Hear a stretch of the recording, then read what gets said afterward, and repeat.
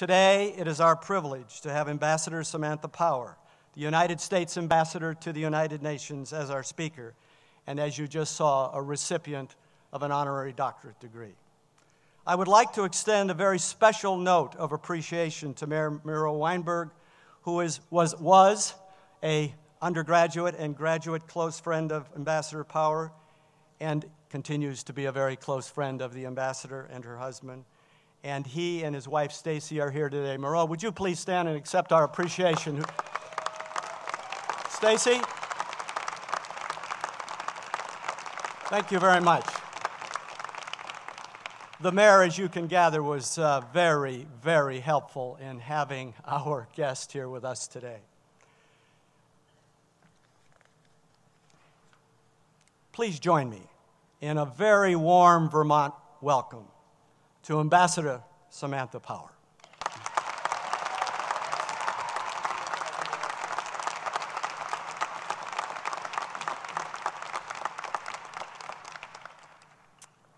President Sullivan, trustees, faculty, alumni, parents, and especially the incredible members of the class of 2014, good morning and hallelujah.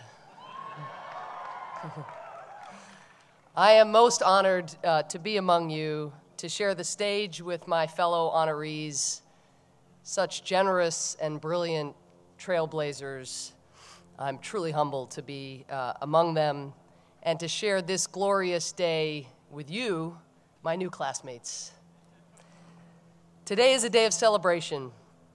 Can we get another rousing round of applause for the parents and step parents who not only made this day possible, but made you possible?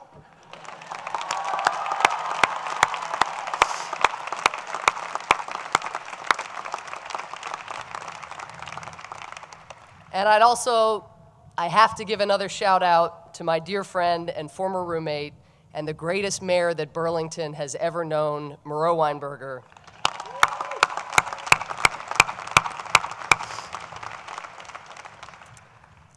I'd also like to congratulate the entire university community as you have successfully completed your 213th year. This makes you just about as old as I feel after nine months of arguing with Russia at the UN. the big difference is that you all are a whole lot better looking than the average member of the Security Council. This campus, too, is a gorgeous slice of a beautiful state.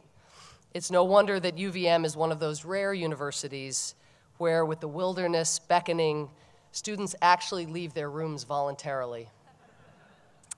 This school, known as a public ivy for its academic excellence, is also renowned for living its values. You were the first American university to declare public support for freedom of religion.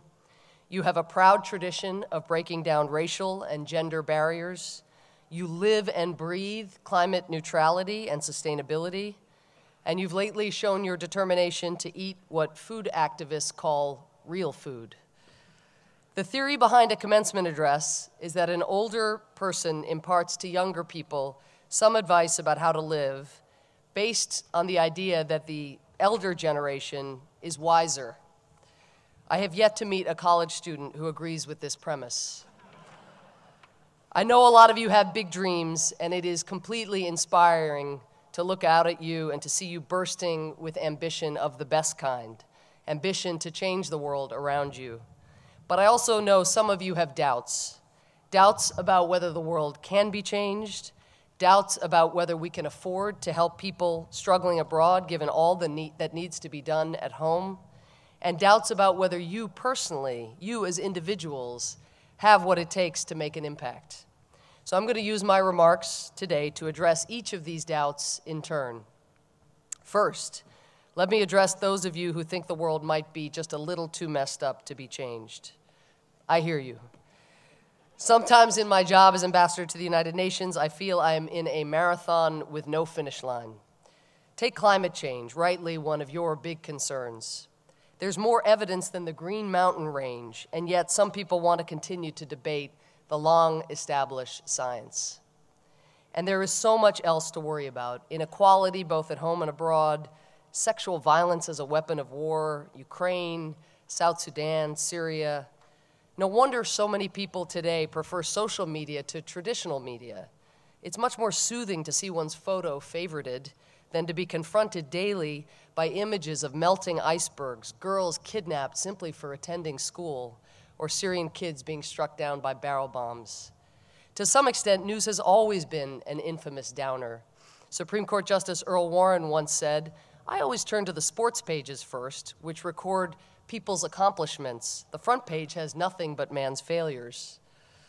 But the truth is, away from the headlines, change is happening for the good, and it's happening fast. In the past quarter century, the United States, the United Nations, and our many partners have helped to reduce extreme poverty worldwide by more than 50% and nearly cut in half both the number of women who die in childbirth and the number of children who perish before the age of five. In the field of medicine, tuberculosis treatments have saved 20 million lives since 1995, and the number of children infected with HIV has declined by 50% in the last decade. Taking a few country specific examples, in Burma, we see Aung San Suu Kyi, who lived under house arrest for 15 years, now serving in the parliament, leading the opposition, and widely thought to be the likely next president. In Afghanistan, nearly 40% of the girls there are enrolled in school, up from 3% under the Taliban.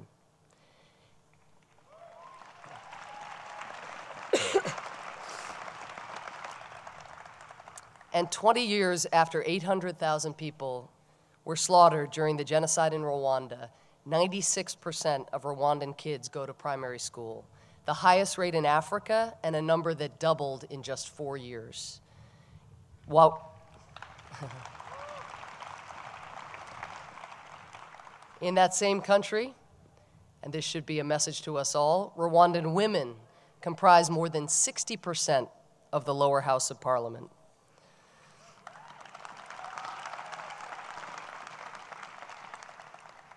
Technology, which is a mixed bag, it's been used to spread vicious propaganda lately in Russia and to hunt down civilians in Syria, but it has also been a source of tremendous positive change.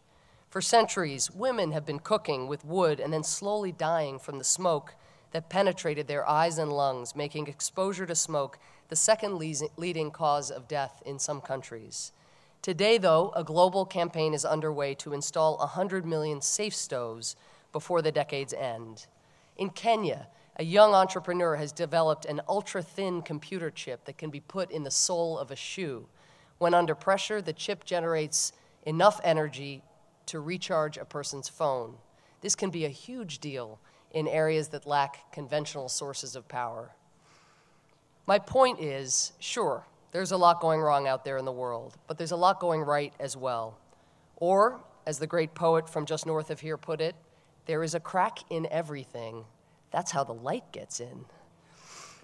I would like to address a second concern that many of you have as well the concern that we have enough problems here at home and can't afford to pay attention to problems happening overseas. Let me agree with part of this. We have plenty of problems at home, and there is plenty that all of us should be doing about them. And some of you are already on the case. When Hurricane Irene struck Vermont your sophomore year, and hundreds of homes and businesses and bridges were destroyed. Many of you helped flooded communities, delivering supplies and even organizing events for kids who couldn't go to school. Your student body has done more than 100,000 hours of community service each year you've been here, also raising hundreds of thousands of dollars to fight hunger, selling one grilled cheese at a time, to cure cancer, staging a dance marathon and relay races, and to and to research Alzheimer's disease. In the United States today, many believe after two long wars where Americans, and particularly our men and women in uniform, have made untold sacrifices, many believe it is time to come home. The latest polls show an all time low in public support for an active foreign policy, as well as a growing desire to turn away from the world. More than half of Americans polled agree with the following sentence quote, the U.S. should mind its own business internationally and let other countries get along the best they can on their own, end quote. I get it. I get why it's tempting to believe that we do not have the time, the resources, or the bandwidth to address problems over there when we have so many right here. But you all know better. We just don't live in a world where we have the option of disconnecting or retrenching. We live in a world where what happens overseas has a direct impact on us here. We also live in a world that cannot afford to do without the moral voice, the clarion vision, and the hopeful promise of America and the American dream. We do not have to choose, and we cannot afford to choose between here and there. We are not the world's policemen, and we should not be the world's policemen. But even in a world of limited resources, we cannot afford to choose between educating our children in America and supporting efforts to take on those who would kidnap hundreds of girls in Nigeria. We cannot afford to choose between fighting the scourge of heroin addiction here in Vermont and ending the Assad regime's use of chemical weapons against his own people. We cannot afford to choose between providing health care here at home and leading the global effort to rid the world of HIV AIDS. We are America, we act, and we lead. The stronger we are at home, the stronger we will be leading abroad. And the more peaceful and prosperous the world is, the better off you and the rest of the American people will be over time. One American who gets this is the youngest U.S. Senator ever to be elected from the Green Mountain State. You can look out at Lake Champlain. I've lost my sense of direction. Where is Lake Champlain? Back that way. And know that it was Senator Patrick Leahy who found the funds to clean it up. And it was Pat Leahy, Leahy who added 125,000 acres to the Green Mountain National Forest and preserved more than 350 Vermont farms. You know that, Pat Leahy. You like that, Pat Leahy. But maybe less visible to you are all of the things that Senator Leahy has done to advance U.S. values and U.S. interests abroad. Thanks to Senator Leahy, just one man, one guy, one Vermonter, the United States no longer exports anti personnel landmines.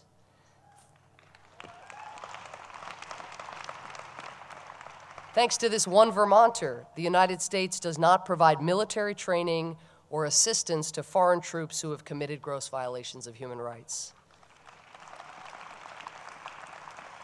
In tirelessly promoting our values, Senator Leahy knows that the more the United States is respected, the more we play by the rules of the road, the more easily we can get other countries to join with us in confronting threats, and the safer the world will be for our children. Even if you're with me up to this point, class of 2014, I know that the third doubt may creep in. You may be thinking to yourself, okay, there are people out there who can change the world, maybe, but I'm not one of them. That's your choice to make. Don't raise the bar too high on yourself. You don't have to run Human Rights Watch, lead a Navy SEAL unit into battle, found a charter school, or perform emergency surgery on fleeing refugees overnight. Start by doing what it is in your power to do right here and now.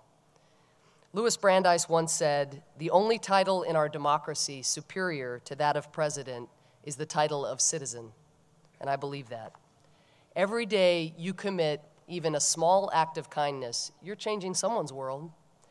Every day you involve yourself in local politics, you tutor in a school, you write a check, even a small check, for your favorite cause, or even just speak out against the injustice you see around you, you are changing your slice of the world. Start there. But please don't stop there. I know it all seems daunting. One of my favorite expressions is never compare your insides to somebody else's outsides. When I sat where you sit, I was convinced everyone else had it all sorted out. I was the only one who had no idea what would come next. When I showed up as a journalist in the former Yugoslavia, a year after my college graduation, I watched the seasoned war correspondents who seemed so sure of themselves, and I tried to hide my fears fears for my physical safety, but also fears of failing to do my job right. I will tell you one quick story that underscores why one should never compare the churn that one feels inside to others' exterior calm. I went to work at the White House as President Obama's human rights advisor in January 2009. Soon after arriving, I was called to my first meeting with the new president in the Oval Office. I was thrilled. The only trouble was I couldn't find the Oval Office. Nobody passed out maps of the West Wing.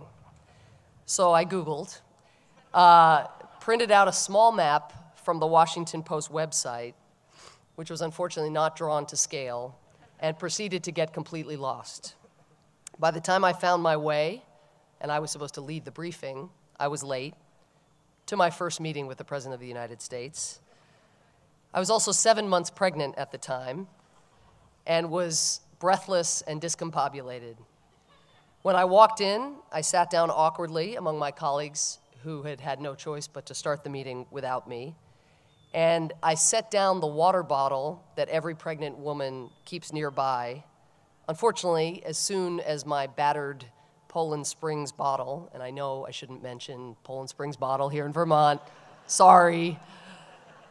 But as soon as that bottle touched the surface of the centuries old coffee table in front of me, an arm reached over my shoulder and removed the unsanitary item from the view of the 44th President of the United States. Now, at the time, I thought this was a truly exceptional and exceptionally mortifying experience, but it turns out, when I told this story once before publicly, my colleagues each approached me. The same colleagues who strode around as if they had worked at the White House from the beginning of time and they each told me some version of the same story. They had all gotten lost on their first trip to the Oval, they just hadn't told anybody. When you get out into the real world, it is easy to believe that you, and only you, are the only one who doesn't belong. Even when you reach the pinnacle of your career, you will know your own weaknesses better than anyone. You will have unique insight into all that you haven't yet mastered. My friend, the human rights advocate John Prendergast, and I have long referred to our heads as bat caves, where doubts, the bats, fly around, sowing the fear that we may not be able to make the change that we seek. But as you get older, although the bats don't ever really go away, you begin to realize that everyone has his or her own version of the bat cave. And the people who succeed in changing the world are not those that slay the bats they are those who simply acknowledge their insecurities and forge ahead, unafraid to fall flat, but quietly determined to land right and to do right. So that's what I got for you, class of 2014. The world is plenty messed up, but you can help change it. We need you to stay engaged both at home and abroad. And no matter what your insides are telling you or how assured others seem on the outside, you, as in you personally, each of you, can make a profound difference if you set your mind to it. You have lived in the shadow of the Vermont peaks for four years, and I urge you to make it your task to overcome mountains that others have found too high to scale.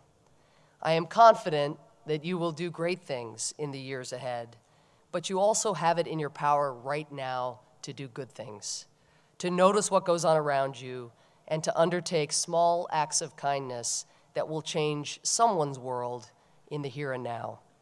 I thank you for letting me share this glorious day with you, and I wish you satisfaction personally and great impact in the world around you in the years ahead. And above all, I congratulate you, class of 2014. Thank you. Thank you.